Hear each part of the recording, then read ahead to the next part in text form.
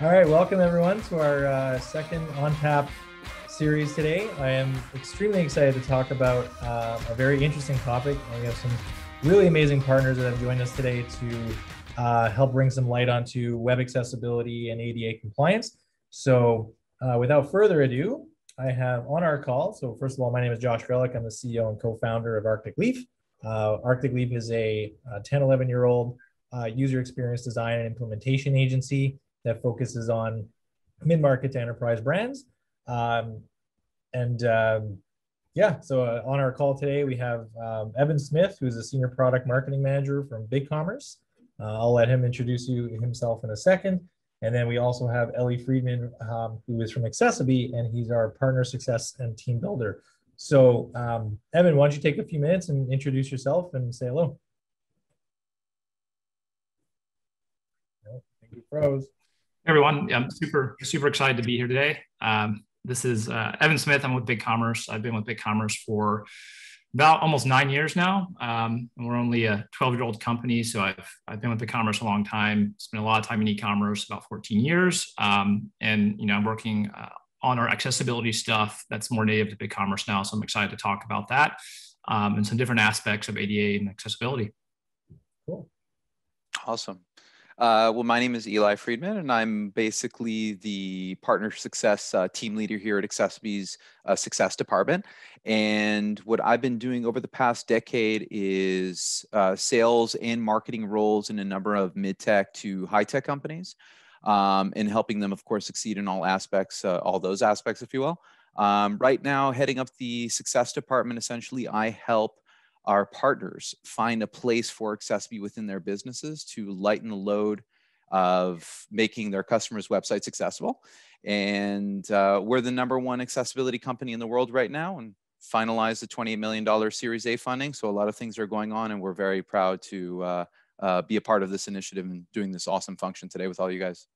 Perfect. Thank you, Eli. First of all, congratulations on the success there. And then uh, obviously, congratulations to, to BigCommerce for going public this year. So, oh, yeah. uh, two really amazing companies and amazing partners on our call today. Um, so, today we're going to talk a little bit about accessibility um, or what is accessibility or ADA compliance. Um, it's, uh, it's definitely an important subject matter. And I kind of want to start. Uh, well, first of all, actually, we, we have a little housekeeping to do. Uh, it is an on tap series, so definitely get yourself some form of like beverage um, because that's an important piece uh, you guys missed the memo on that, Nicole. Come on.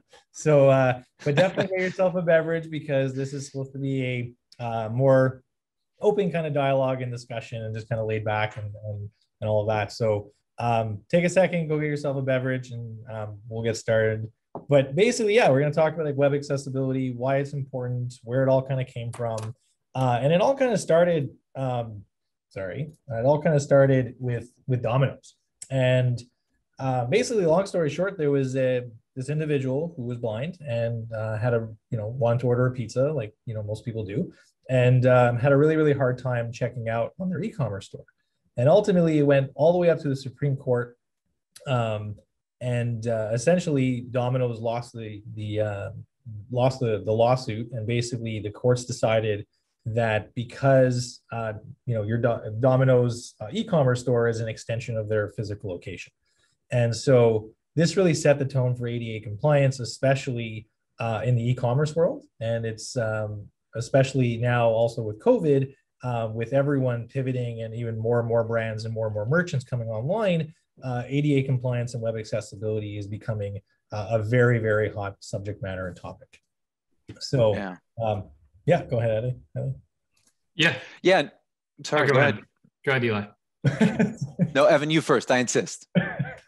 I was just going to say, you know, since this ruling, we've seen, you know, it's been kind of a whirlwind of, of lawsuits. Um, you know, Target, um, Target, the store and their online store was targeted, no pun intended, uh, for ADA compliance, as well as a host of other really big brands. But what we started to see is, um, unfortunately, there's a lot of people out there that are targeting. Um, they've gone through all the big ones and they're kind of moving down market into more mid market companies. And we've seen you know, across our global client base, um, a bunch of merchants get targeted um, for not, you know, being compliant. And what we realize is that the, you know, the rules around compliance are pretty complex. Um, and so, you know, we're happy that we'll talk a little bit about what BigCommerce has done to address that, but also partners like Accessibility and Eli have, have kind of popped up to help solve some of these gaps. Um, but we, we've seen it become hyper relevant, especially over the last probably 24 months. Um, obviously, as Josh mentioned with COVID um, and all that going on, um, I guess more and more people are starting to get targeted. So just wanted to add that color as well. Yeah, we, yeah, no. We've been seeing that happen across our merchants, um, where before, like Evan said, it was more the larger merchants, but now even mid market and even some smaller organizations um, so essentially, there's lots of lawyers out there that are looking to make a you know a quick buck, and they just fire out cease and desist letters and all of that, uh, and it becomes a real you know becomes a headache, right? It's instead of being able to focus on your brand, and I don't think anyone's out there trying to be malicious and not trying to support anyone with with uh, accessibility issues. Um, it's just it's kind of more secondary, and now it's being much more brought into light. Um, and I think this conversation is going to help kind of spearhead some of those initiatives and some of those things that you can do to really help kind of protect your brand and merchant uh, as you continue to grow. So, uh, Ellie, go ahead. I know you wanted to. You're eagerly waiting to speak. So. No, I'm actually enjoying hearing everybody else as well. Um, Domino's is definitely where the spiral happened, but to kind of just give some a basic understanding, I don't want to go too far into it, but a basic understanding of where the law um, or affirmation, I should say, actually stemmed from. So the Rehabilitation Act of 1973, and then followed, which was a legacy law, but was continued on with uh, ADA, which is American Disabilities Act. And a lot of people associate American Disabilities Act and accessibility in general to physical accommodations when essentially um, in 1990 was still the infancy of the web, right? So they, a lot of people didn't know about it, nor was it as urgent as it is, of course, till today. It's not to say that it was any less urgent then, uh, but it wasn't as widespread that web presence or web real estate essentially needs to be accessible. Um, and so 1990, what happened was is that there's a bunch of law firms that were basically out there. They saw a really great opportunity to make some money off of it. Um, on the same token, they were still helping the disabled community in gaining equal access because a lot of these brick and mortar stores essentially weren't moving the needle. And so, where this is um, really unfruitful for a lot of people because the way that they're utilizing the legal system, um, it still is, I think, a really big part is, you know, why it's important uh, more so today um, into a widespread of people versus, you know, a very small core of people. Um, which you know 20% of the population which we'll get into it's still not a very small portion uh, but uh, hmm. they're we're making a lot more noise about it in this day and age and i think that the domino's pizza case really just skyrocketed uh, skyrocketed the amount of concern around it and the importance around accessibility um, so yeah i hope that that gave a little bit more light on what yeah. happened in its history yeah. good little good little history lesson and uh, first of all again also want to say thank you to ellie for hopping in. He's in Israel right now, so it's like almost midnight his time. So I just want to again say thank you for for hopping on that. but good little history lesson. Um, so what kind of you know? So what are we, what else are we going to cover today? So why is accessibility important? Uh, when's the right time for you to look at it? Uh, definitely, you know, we encourage you to take a look at it now, especially with uh, with everything that's going on. Um, there's a difference of approach, right? So Ellie's with Accessibility, which is a, a really great widget and tool and an AI technology that really will help protect your brand. Um, and then there's also uh, what we call manual remediation or manual scanning.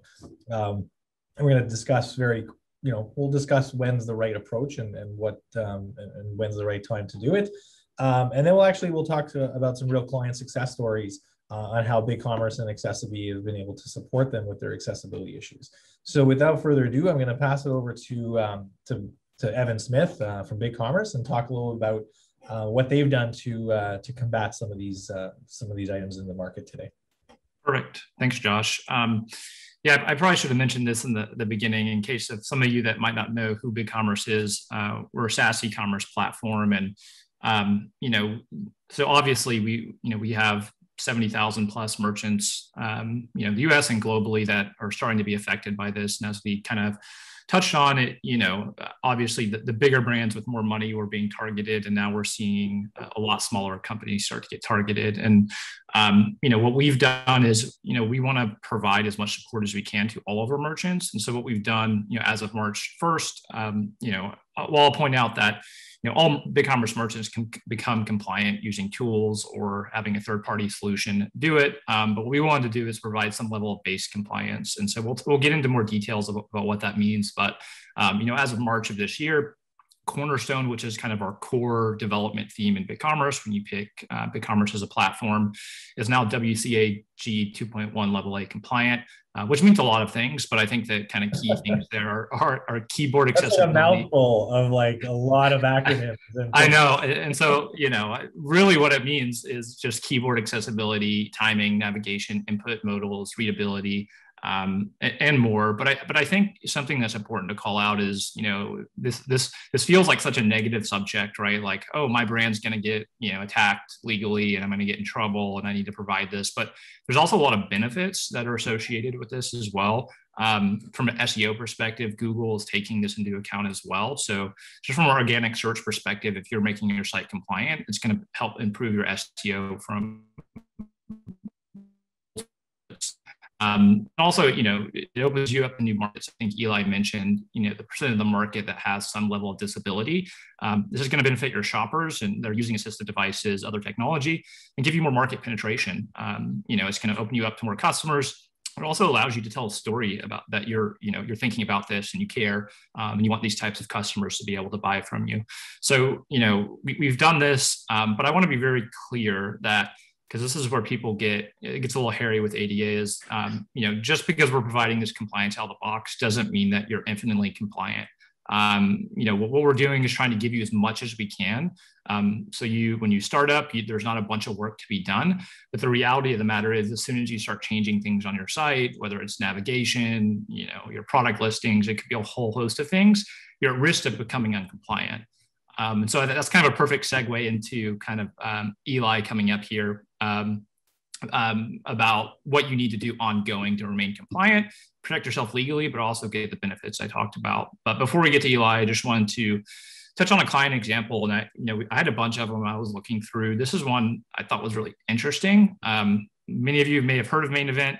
Um, you know, it's probably something that wasn't getting as much business during COVID, um, but you know, very interesting because it's not when you think of kind of traditional product level e-commerce. You know, main event might not be the the business you're thinking about, but you know, big commerce services all kinds of e-commerce relevant businesses, and main event's a great example. So, um, you know, what they they came to us and you know, given their type of client profile, um, having kids come, you know, to main event to book you know events and do all kinds of games and um, and rides and all this kind of stuff um, they really needed to make sure that they had accessibility adjustments um, on their site and so it was you know wasn't even just the bases that i just went through on the last slide. They, they came to us saying hey we need to make sure there's seizure safe solutions cognitive disability solutions adhd friendly all kinds of things. Um, and i think that the story to tell here is that you know, Ollie was our platform able to provide that, but in partnership with AccessiBe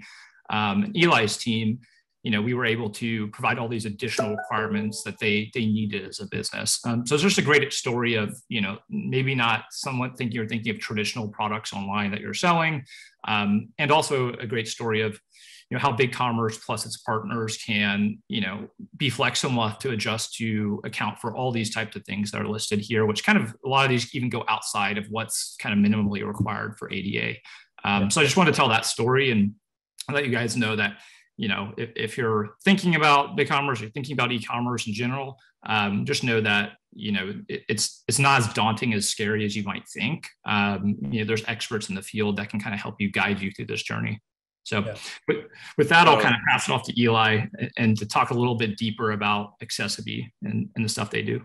Yeah. Well, yeah. We love being partnered with you guys as well, man. Uh, it's, it's fantastic. Um, one of the things that I will say, just a little bit of, you know, contrast here about Accessibility. So we uh, started in 2017 and the three owners and founders of our company are essentially technologists. They're also, uh, they had their, their way in a number of different startup companies as well. Um, very much interested in the web development industry. And so they started their own practice, their own firm.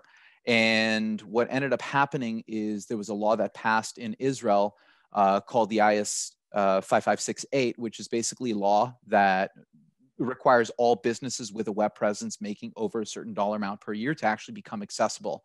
And when the guidelines came out, they can see that the cost of the solutions that are out there, so manual remediation, they were they cost like 20 to 40% minimally uh, more of the cost than the actual website. So for every $10,000 you spend, essentially you're spending an extra $4,000 minimally. Again, this is websites with little to no functionality. And they realized that they were between a pretty much a, a, a, rock and a hard place. Now they're going to tell their new customers and their existing customers that they need to make their websites accessible under these new laws and that it would cost exorbitant um, uh, exorbitant amounts of time and of course resources that were going to be expended there. How would they be able to justify that? So Shir Ekerling, who was our CEO, he came in and of course they started discussing the issue. Uh, they came up with an automated solution. There were other alternatives that are out there which were falling uh, way short of the WCAG guidelines, not just by a small par, but a very large one. Um, and they realized the gap. And what they started working on was over, you know, the next 18 months, they started just developing the solution, uh, which became accessiBe to serve, you know, 20% of the population.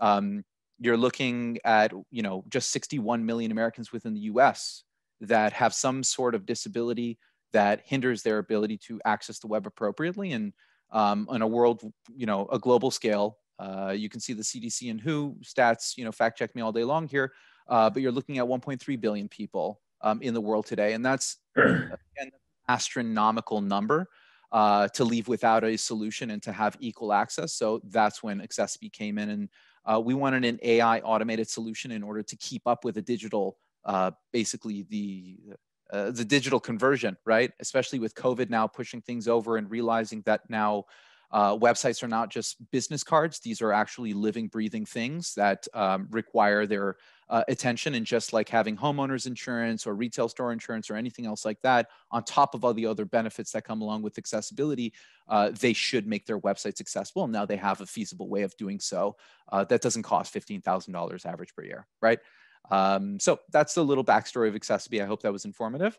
Um, I, I learned something more today now. You didn't, pitch, you didn't, give me that pitch when we first started talking. I, I never heard I it never either. Spoke about that, Josh. You know, I know. I'm sorry, guys. We'll talk. No. Can we take this off afterwards? Yeah. It, you know. uh, wait, real, real quick, uh, we got a couple of questions, and before we move to into too deeper yeah. subjects, I wanted to sure. touch on at least. There's one probably for me and one for you, Eli. So the first one is um, is BigCommerce optimized checkout compliant as well? So the answer is mm-hmm. yes. Um, out of the box, our optimized checkout is level AA compliant. Um, but to be very clear, BigCommerce is unique in that we, from our SaaS solution, we do offer an open checkout. So it's fully customizable. So just be wary that as soon as you start customizing, you're at risk of becoming uncompliant. But standardly, you know, um, going forward, it is compliant out of the box. Um, and there's another question there for you, Eli. I think it's it's around main event and what accessiBe did for them. Yeah.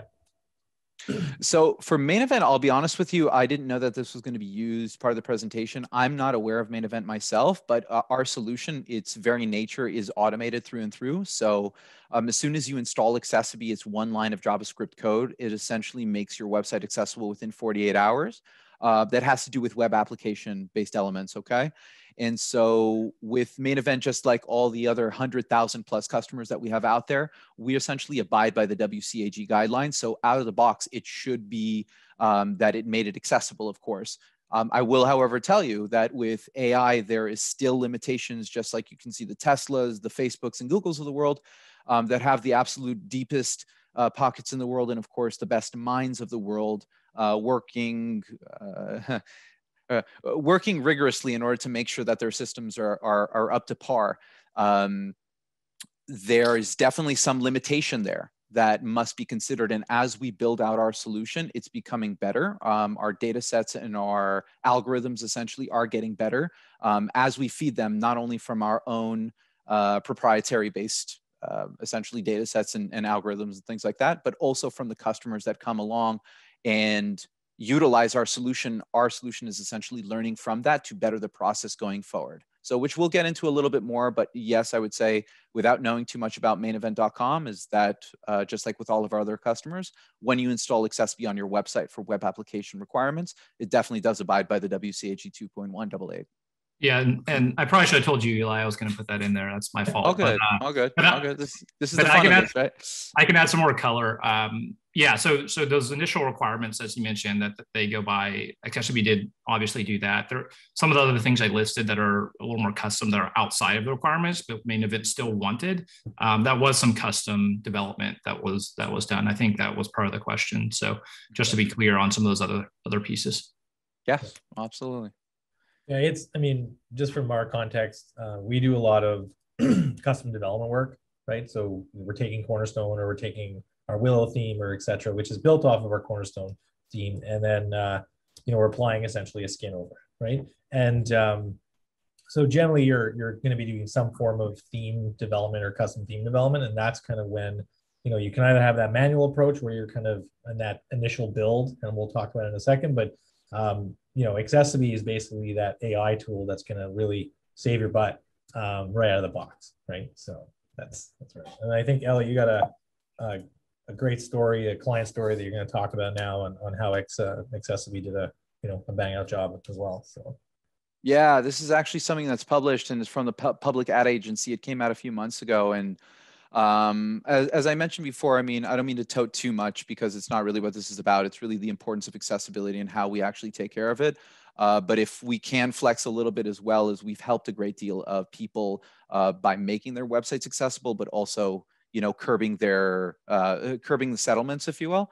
Um, this specific partner store was about the public ad agency. It's a well-respected agency of ours, and they had a client who inquired basically about accessibility.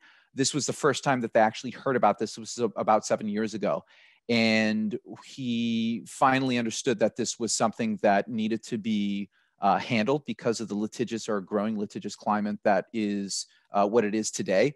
Um, it was significantly less back then, but in any case, he took it upon himself and, of course, out of his agency to start looking into WCAG and what it is to make his customers' websites accessible uh, for all the good reasons. And what ended up happening is even through 200 manual work hours of making that website accessible, what happened was they started getting a couple larger jobs. Their in house, uh, essentially auditors and, and, and coders who dealt with web accessibility were brought onto other projects and slowly the degradation um, you know happened over several months and that was of course the, the perfect storm. Um, and then uh, what happened years later which was now during covid is all of that work that they had initially done on the website with a very small amount let's say of upkeep they ended up getting slapped with a lawsuit. And they were slapped with a lawsuit, which ended up going to a twenty thousand um, uh, settlement, if you will, and the agency was even about to spend, you know, ten thousand of their own dollars in order to make this uh, thing better for them and their client because they felt so bad about what had happened, and so they obviously learned their their lesson from this. And um, what was the awesome part of the story is essentially that they came to us after they, after they found us um, and understood how many people we've helped out of litigation by way of our solution. And one of the biggest things is the litigation support package. So, on top of the WCAG guidelines, we do offer something called a litigation support package, and it, which again has helped all those people out. And it requires a compliance audit, which is basically a professional audit by somebody who looks over your entire site to ensure the level of accessibility as it stands. And then you have two th- third party reports. So, uh, one from our ACE accessibility auditing tool to again show your level of accessibility through the automated route, and then another um, third party, and that's actually our competitor, um, who we're utilizing to cut any biases there and also show where the differences in between the level of accessibility might be. Um, and then finally is the accessibility reports. So it's a master report, and this basically shows you what uh, the plaintiff specific complaints are in regards to accessibility line by line item and then our r&d departments um, you know of course rebuttal in each one of those uh, you know aspects showing where our solutions in fact making the website accessible and compliant. Um, there's a number of different things out there like canned responses and and uh, and email uh, templates if you will. A lot of these law firms they're not going through necessarily the kosher route of doing it for the way of actually helping people with disabilities and making websites accessible but it's just for their own monetary gain. So what they'll do is they'll uh, work in tandem with people from the disabled community sometimes not even uh, which is funny enough and they will send out through a spray and pray approach hundreds, if not thousands, of demand letters um, showing the you know plaintiff's level of in compliance and then once they respond essentially they'll go down that rabbit hole of trying to acquire um, you know funds in, in any which way that they can. Um, so with way of the you know litigation support package we were actually able to help out this partner. Um, and again hundreds if not thousands of others out there um, by way of this support package and of course of our solution. So i thought that was really cool um, story. It is published, by the way. I would be more than happy to actually send it out um, if anybody is interested or if they want to reach back out to you, of course, Josh. Um, Be more than happy to, to provide that. But it's a very cool experience seeing that we can help people not only with disabilities, but also curb um, the issues of you know our, our most litigious climate right now when it comes to uh, everything, but uh, accessibility specifically it, it is a bit of everything at this point, right? So, uh, so yeah, first of all, Evan, uh, Eli, first of all, thank you. Um, these are just these are just a couple of stories of of how uh, accessibility has been able to uh, support uh, merchants for both big commerce and Accessibility. Um, at Arctic Leaf, you know, we look, um, we have kind of the gold standard. We look for the gold standard in the industry. So BigCommerce, a really, really strong partner of ours from a platform perspective, gets us a lot of the way there and then using Accessibility, uh, which I think we we kind of just stumbled on you guys too, like just kind of accidentally. And uh, I, I, would say more than a handful of our merchants now are, are starting to use the, product. Um, so really, really cool story. Um, appreciate that. And then kind of, you know, the last piece that we kind of dive into is, you know, so all right, so we talked about manual remediation. You know, what are the benefits? What are the pros, the cons? Why would I need to do a, you know, a manual scan or a code cleanup if, you know, Accessibility is going to, you know, save the day? Um, so there's pros and cons. Um, some of it, you know, like like uh, Evan mentioned before, Google's starting to take this into account and factor into your SEO value.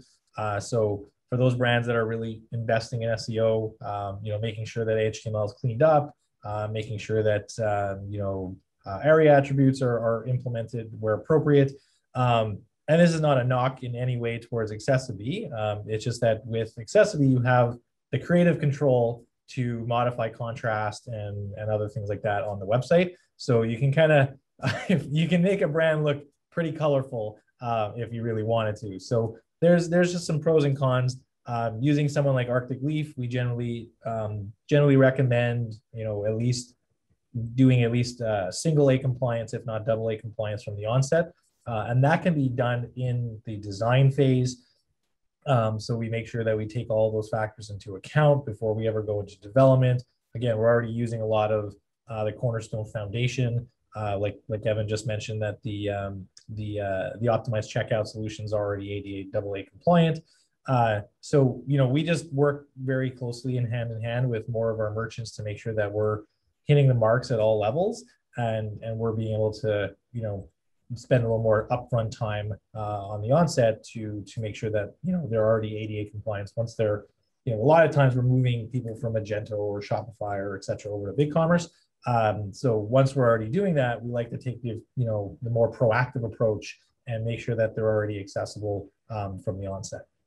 Uh, I'm curious to kind of pick Ellie's brain a little bit and kind of where he sees um, you know the difference in how the remedi- you know the manual remediation and the manual scans can support in conjunction with accessibility because I don't know that there's one solution that fits all the boxes. Um, we generally kind of see that you know you know uh, a two-tiered approach, a three-tiered approach can be more beneficial. So curious, I'm going to put Ellie on the spot um, and uh, see if he's got a response on that one. Can you rephrase that a little bit? I just curious. No, no, no. I, I, I understand the core, but I, I want to know exactly. I'm just curious to hear your thoughts on, on when, when, like how a manual, even a, how a manual remediation or a manual approach can support accessibility in some fashion. Yeah, so that's a really fair question. I mean, accessibility at the end of the day is technology, and where we've taken over 18 uh, months to develop the solution, and actually with somebody who worked on the JAWS team, his name is Adi. Um, he was one of the uh, core founders of the solution and, of course, developer of the solution. He's a prodigy from birth, uh, blind from birth, and also a prodigy coder that he learned um, on his own, essentially. He's worked with Apple, with JAWS, a number of other leading companies in the world in regards to accessibility. one of the biggest things is, of course, user experience. So enriching the experience as much as possible for all users. Accessibility is good for all users. Uh, with that being said, um, starting off at a solution, right? You can, if, if you know what MVP is, uh, minimum value product, we didn't want to come out with just an MVP. We wanted to come out with something that was significantly more robust and not to overuse the buzzword. But um, within that, we came uh, very close to the WCAG guidelines because IS 556 in, in Israel is a law and you can be um, sued big time for it and by the justice system, not just by individuals or from, from the private sector, if you will. Um, and so there was a lot of weight that came along with the development of the solution. And when coming out with a solution, we went into animalic growth mode and taking care of uh, uh the WCAG guidelines when it comes to web application requirements. Um, the manual remediation side of things definitely does fall short because we do not provide a solution for that. While we do have, uh, of course, third-party solutions for that, and you know, to complete the remediation requirements, if you will, uh, for WCAG is PDFs, multimedia, and videos. So clo closed captioning for videos, let's say. Um, PDFs also have their own special way of becoming remediated uh, or being remediated. And so those are things that we less uh, tend to take care of on the solution side of things. So as far as the limitations there, I would say that the AI, of course, does have some way to go. Um, when it comes to things outside of web application based requirements like those I just mentioned now, those definitely still need to be remediated under the WCAG guidelines. Um, and that would be best done uh, by manual accessibility work. I hope that answers that question in a very long oh, that's, way. That's no, that's really good. And um, yeah, I think there's you know there's really pros and cons for both approaches. Um, some of the other benefits as well is if once you open the hood, like like any like you're opening a you know you're opening an engine at a mechanic right? And you're kind of looking around.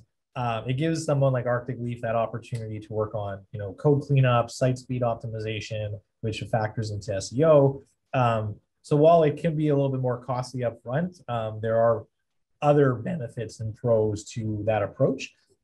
Um, but again, you know, you know, definitely reach out to, to either of us or all three of us on this call, and we can definitely support any kind of questions and comments or concerns. Uh, I will always definitely refer saying we are not lawyers and we are not we are not specialists.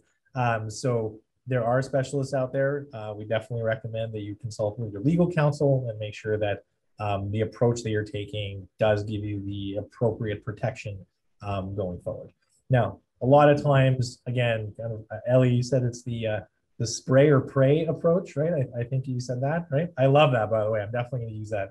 Uh, and um, Gamify it a little bit. Yeah, yeah, exactly. Gamification on accessibility. So, um, which, by the way, I really dislike that word because I came from the gaming space, and every time I would talk, to oh, this, yeah. how do I gamify like Bitcoin into like? and I'm like, oh my god, like, so, yeah, uh, gamifying blockchain on end of everything in your yeah, game. exactly. It's like yeah. how do I yeah how do I mine cryptocurrency while I'm driving in an Uber and then I'm also buying on something my gosh. Like Josh, do you have a solution for it or not? so um, I'm just joking. Sorry. Yeah. So it's uh again, so I just think there's a lot of different approaches. Um, you know, you can do, you know, initial scans too, so you can get a kind of good out of the box. Um, you know, if you actually go to the landing page that we put together for this uh, for this um, on tap series, there's actually this really really cool widget that uh, accessiBe put together, and you can just put in your URL, and it'll actually kind of give you like a a quick little report on on some of the items that they quickly find and on the scan and things like that. So um, cool. So we're actually kind of coming up at uh, 40 minutes in. I know we started a few minutes late, but I want to make sure there's enough time for Q and A. Um, and uh, so there's a couple of questions. So the first question from uh, Amandeep is uh, just installing accessiBe will it save us from litigation? So I'm going to refer to mm-hmm. Ellie, but uh, I'm gonna I'm gonna say that you should still check with your legal counsel, regardless um, whatever Ellie is about to say. So I'm gonna yeah yeah full disclosure.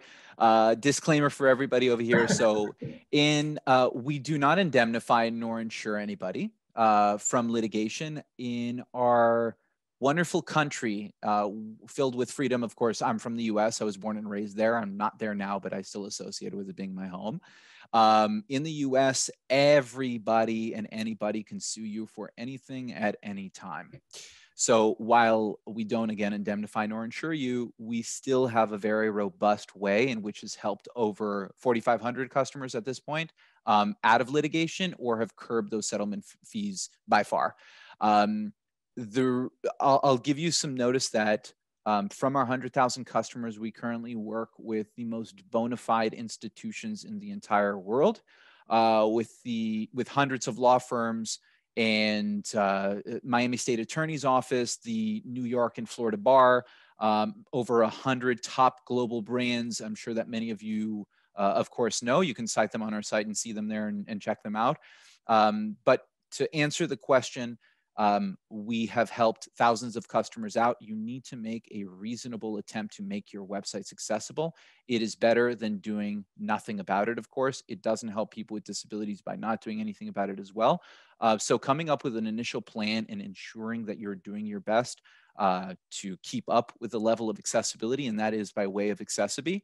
Um, we were talking about the manual supplemental approach. So, with Arctic Leaf, um, going ahead and doing that as well. So testing with accessiBe on the site, um, of course, would be the best way of going about it to see if there's any limitations that are found there, um, and then manually fixing them, which will, of course, help our system and help you as the customers out there looking for a more robust level of accessibility if in case, in case there are limitations uh, within our solution itself.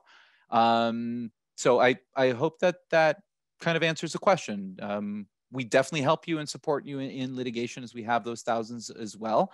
Uh, but at the same time, you always must ensure that your level of accessibility is up to par. Um, so the supplemental approach would be the best way to uh, kind of cap. I'm, I'm gonna I'm gonna kind of defer also this to, to Evan and kind of hear his thoughts from a BigCommerce perspective and and what he's seen in the past. Obviously, he showed a great case study, um, but he's you know been around the block a number of times. He's worked with a lot of different merchants and brands that have gone down this route before. So I'm curious to hear his thoughts, uh, kind of fall in that same question.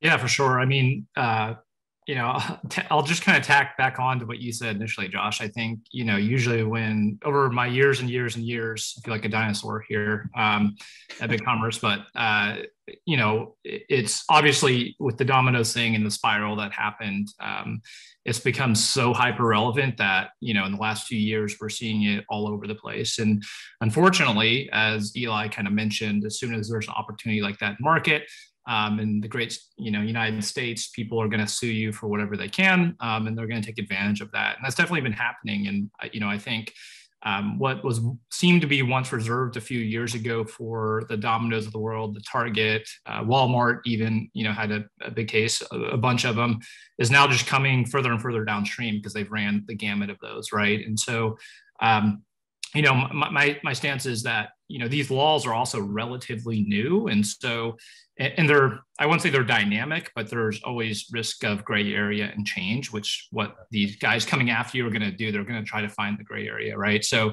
um, why why BigCommerce is doing everything it can to get you as compliant out of the box which i think we've done and done really successfully and helped a lot of merchants. And while accessiBe also is doing really great things to make sure that customers are safe um, you know there's there's still always a chance that something could happen. And so i think just uh, going back to your point, Josh, that you know consulting with your legal uh, team or firm or outside counsel um, is important uh, during this process, just to make sure. And I think you know a key thing that people I see people forgetting during this process is that you know they, they seem to it's a set or forget type thing and that's unfortunately just not what it is um, you can't just say i'm complying out of the box and then um, you know, 12 months later, be like, well, I did that 12 months ago. It's fine. You, it's kind of an ongoing process to make sure that you're remaining compliant, whether that's, you know, doing a monthly scan or quarterly or audit or whatever that may be.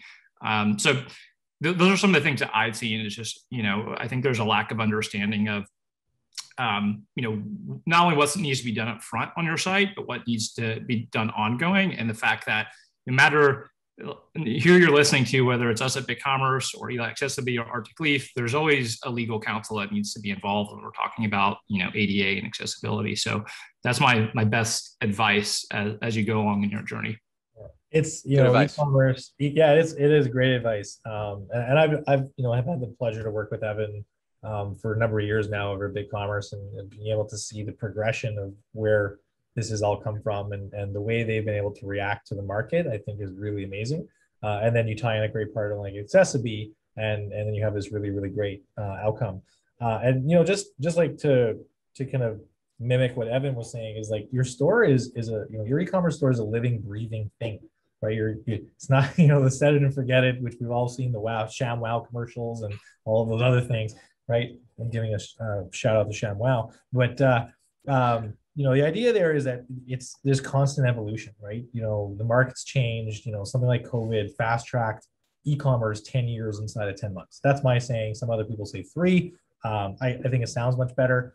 So um, but but really like we've seen so it's been it's just evolved so much in the last year that if if you're thinking that okay i'm going to work on ada compliance or web accessibility today and then you're not going to revisit it for another 12 months it's I, I, I highly recommend you reevaluate your e-commerce strategy so um, and that just goes in, in, in and that ties into your user experience. You're making sure your brand voice is up to speed. Are you investing in email marketing? Are you investing in different channels? Right. This is all. This is just another piece to running your e-commerce store. Uh, and you know, our objective here today was to provide some guidance and some insight into kind of where it all came from, uh, and then what you can do to kind of protect your brand uh, going forward. Um, so I know we got a few more questions. We'll try to get it in under the wire here. Um, so most was it my history lesson that threw it off, wasn't it? Sorry. You're Israeli, man. You just love to talk. So that's. um, I hope we're getting this recorded. Go ahead. Yes, yes, it is. Um, so most of the law firms just do the scan from available tools. Do these tools detect accessible scripts? Accessible scripts. Sorry. Um, most of them do not. Basically, there are so our solution is a session-based tool, and that essentially means that it lives on the user's browser side and it is superficially um, manipulating the uh, your source code essentially. Um, and what these these automatic testing tools essentially what they do is once you put in your domain name they will scout they, they'll essentially scour your code and the static code. So if there was any accessibility changes that were being made to the code uh, then it will find a lot of those issues. A lot of the issues are not found because just a level of efficacy or efficiency that the solution itself has. So the differences between, let's say, Wave or Google Lighthouse or others that are out there, you're going to see distinguishable differences between those. And that usually means that one is necessarily uh, better in one aspect than the others or etc.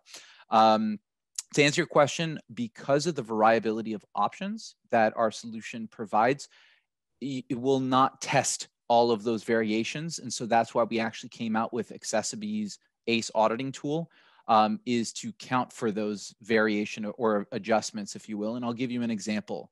Uh, color contrast ratios, if you have a black background and charcoal gray, um, you know, typography, that even if it's large for somebody with low visual impairments, cataracts, uh, glaucoma, whatever it may be, uh, they won't be able to see that.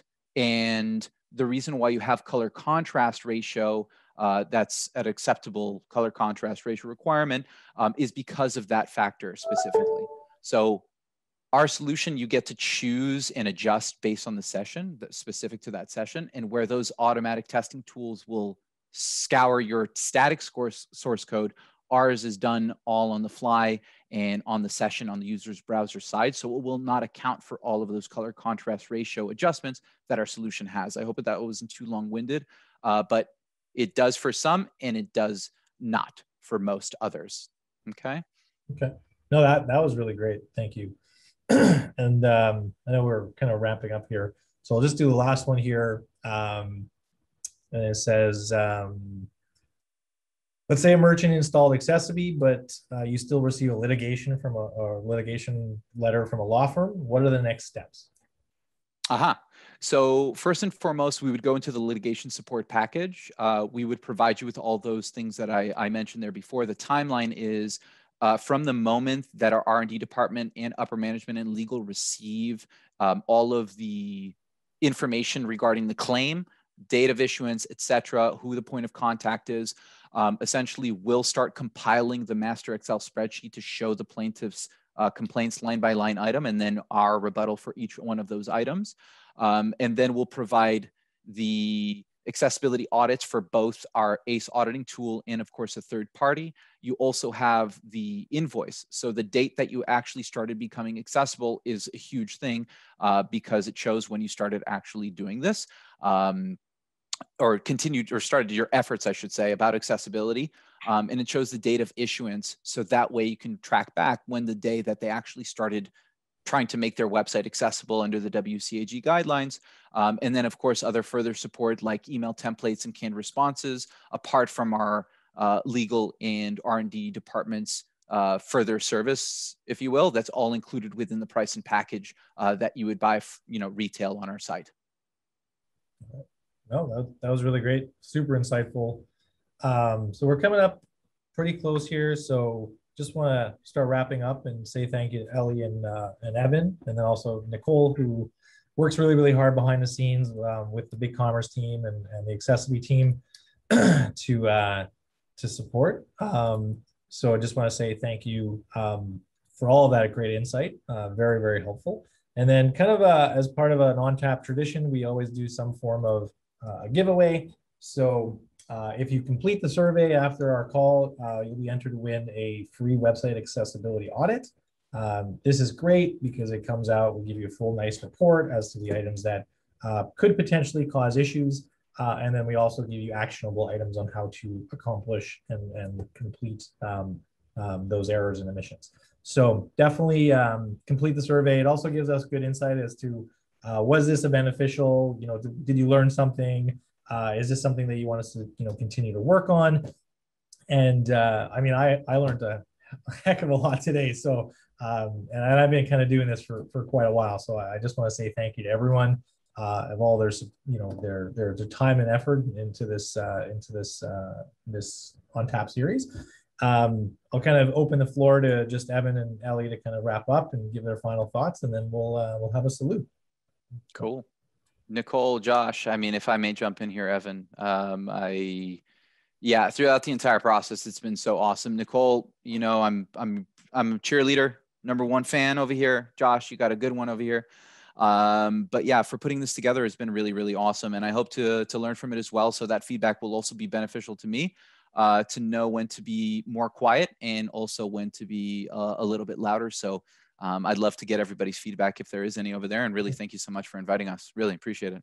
Thank you, Ellie. Yeah, I, and I'd, I'd, say just the same thing. I really appreciate Josh Nicole for putting this this on, and Eli. It was great working with you on this. And uh, accessiBe is an awesome partner. Arctic Leaf's an awesome partner. Um, so I'm super excited. Um, and feel free, you know, I, I can share my information. Um, if anybody has any additional questions that's more relevant to the BigCommerce platform, what we're doing around compliance, feel free to send it to me uh, always happy to answer or, or help out or, or find somebody that can. Um, so just wanted to leave that out there, but I really appreciate everybody joining today and, and hopefully you learned something. Yeah. Thanks, it. Evan. Really nice meeting you, man. Really. Yeah. yeah. Yeah. And if there's any questions, please feel free to reach out to any one of us. Um, we'll be obviously sending out the survey. Uh, if there's any additional questions, send those in. We'll obviously do our best to answer them and get back to you. Um, but we're all pretty personal individuals. so uh, please feel free to reach out. We'd love to hear from you. And if we can help in any way, we're, we're happy to do so.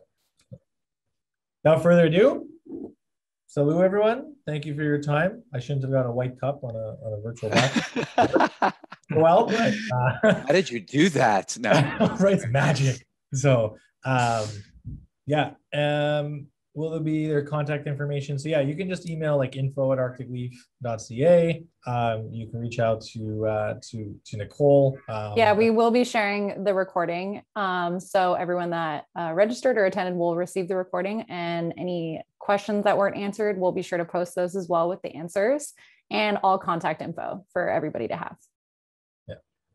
.io. Oh my gosh. Yeah, my apologies. it's Monday again, isn't it? I was Passover over the weekend, so you only have to do one day. So, oh uh, my god! Without yeah. further ado, thank you everyone for your time. Thank today. you. Really appreciate it, Evan, Eli. Really, really appreciate it. Thank you so much for all of your help, and uh, we'll talk soon. Thanks, thank guys. You. Bye, guys. Bye.